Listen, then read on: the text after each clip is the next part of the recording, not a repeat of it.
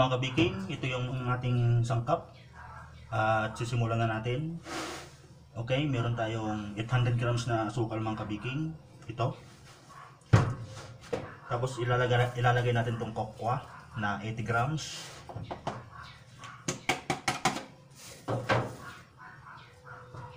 Tapos milk powder na 100 grams. Kahit anong brand mga kabiking pwede nyo gamitin. Tapos maglalagay tayo ng anim na iklog mga kabiking.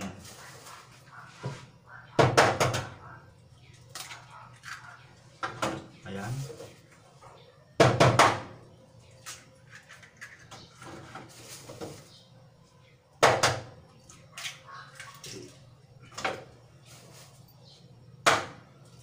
Four. Five. Six. Ayan mga kabiking. Ah, siyempre lalagyan natin siya ng mani mga kabiking. Ayan. Dinurog na mani yan. 50 grams kung titimbangin nyo. Pwede kayong gumamit ng sogo, kayo happy na mani. Ah, isunod natin lagi ito mga kabiking. Itong margarine na 100 grams din. Ayan. Tapos maglalagay tayo ng 180 grams na cooking oil, mantika.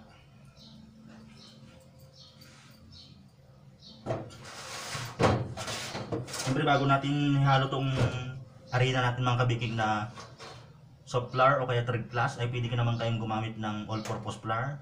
Isang kilo to mga kabiking. Bago natin halo to mga kabiking ay tunawin muna natin to. Ayan. Wala tong baking mga kabiking.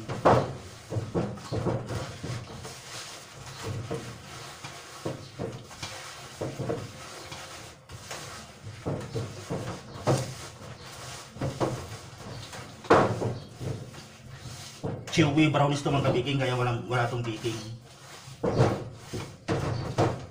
Ayan. Saka natin nahalo tong harina na 1 kilo o kaya 1,000 grams. Pwede kayong gumamit dyan ng all-purpose flour.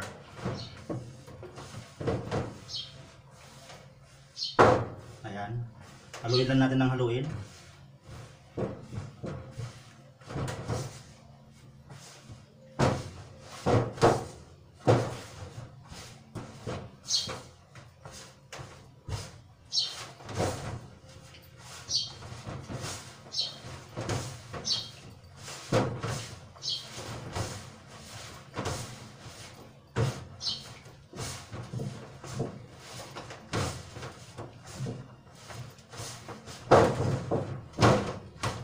Maglalagay ba talaga ng kunting vanilya mga kabiking? Kalimutan ko.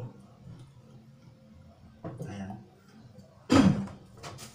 Bahala kayo kung gaano karami. Kung alam yung matigas mga kabiking, pwede kayo magdagdag to ng mantika. Hindi ko kasi ganong makapa dahil naka-gloves tayo. Kaya mas maganda sana kung wala talaga tayong suit na gloves. Para makapa natin yung texture niya. At pili tayong mag-add dito ng powder na food color ito, chocolate brown. Mag-add tayo para maging kulay chocolate talaga siya. Ayan, pag matigas mga kaibigan, magdadagdag lang tayo ng mantika. Ayan.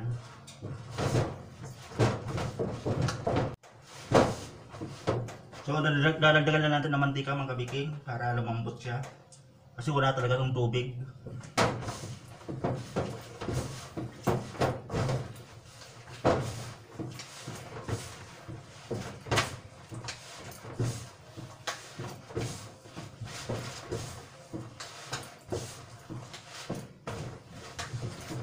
Yan.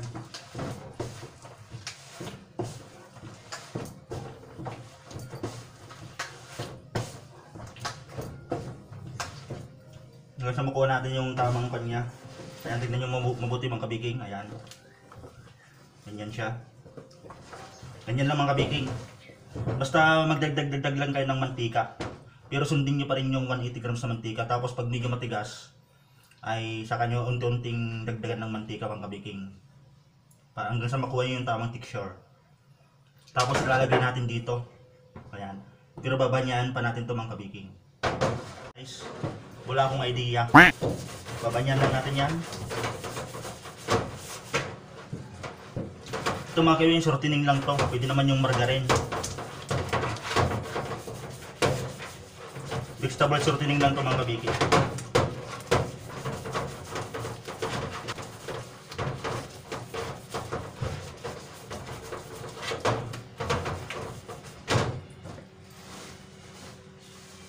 Sabuyan lang natin ng harina. Ayan.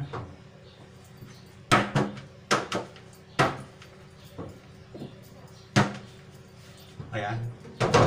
Tapos lalagay na natin itong product natin. Ito. Hindi ko na sinuot yung gloves mga kabiki kasi nahirapan ako. Basta importante malinis lang yung kamay.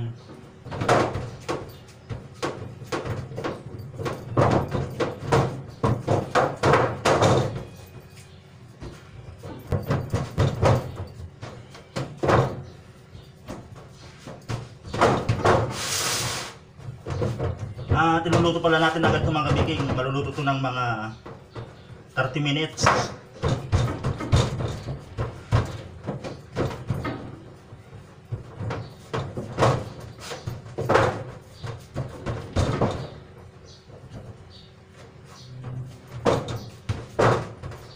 Kaya siguro matigas itong mga kabiking gawan ng yung harina natin kasi sabi ko nga yung harina natin iba-iba. Basta su- sundin nyo pa rin yung 180 grams na mantika at saka wag nyo lalagyan ng tubig kasi wala talagang tong tubig sa baking.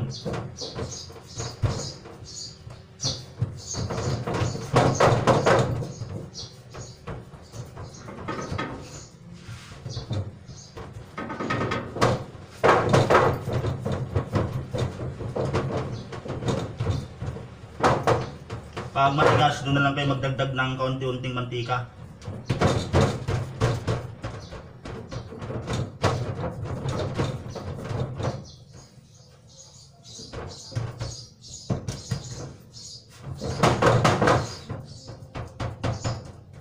Ayan, ganyan lang.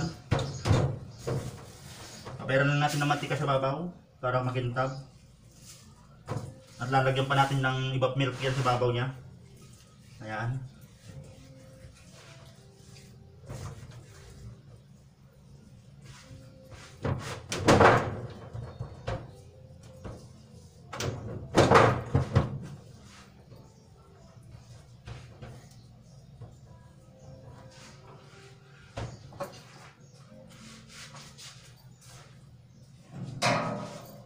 Lalagyan natin ng ibang milk sa babaw.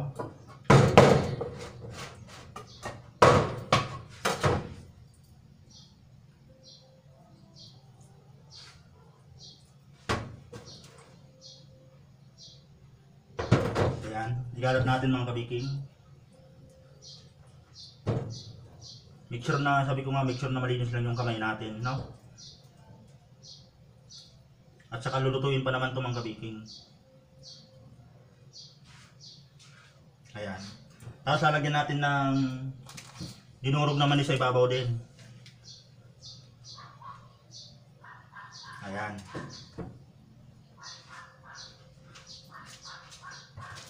Tapos sasalang na natin to agad.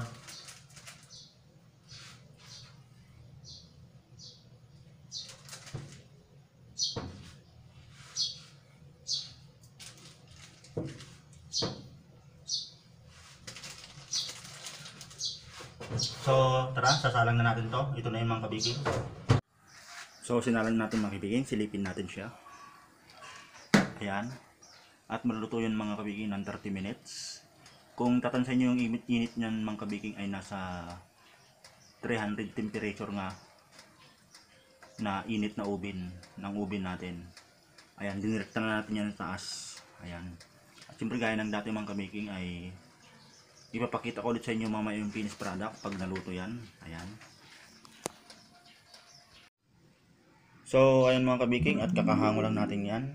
Isa yan sa palatandaan na luto na yan ay ganito rin yan. Pag pisilin mo mga kabiking, bumabalik na. Ayan. Luto na yan. At siyempre mga kabiking, mamaya slicein natin yan pagka malamig na siya. At hanggang at ngayon mga kabiking, nagpasalamat ako sa patuloy na sumusuporta sa ating Napakalait na YouTube channel. Ayan, at maraming maraming salamat mga kabiking. Kaya, ayan, hintayin natin na lumamig. Saka natin sa slice. So ngayon mga kabiking, mag-slice na, mag-slice na tayo. At tatandaan nyo mga kabiking, mga kabiking, pag nag-slice kayo ay puro gitna gitna lang. Ayan. Lahat ng mga ginagawa ko mga kabiking na ganitong klase ng mga tinapay na di-slice ay puro gitna lang yan talaga yung kung paano ako magsimula mag-slice ay puro gitna lang talaga.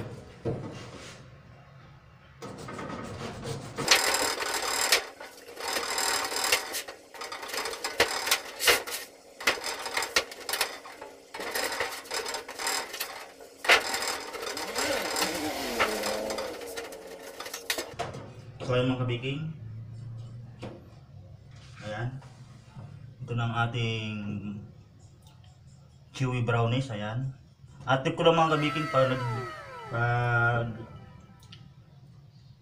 pagkahango yung sa oven ay yung medyo malambot-lambot pa kasi pag lumalamig mga kabiking ito bitigas para maging kwan siya chewing chewy siya mga kabiking yung pag kinain mo i parang natutunaw ay parang dumidikit siya sa bibig ayan kaya hanggang dito na lang ulit mga kabiking at maraming maraming salamat ulit. Ayan. At abangan nyo ulit mga kabiking yung mga susunod pa nating mga i-upload na idea at saka mga timplada kung may oras pa tayo. Ayan. Hanggang dito na lang. Bye bye.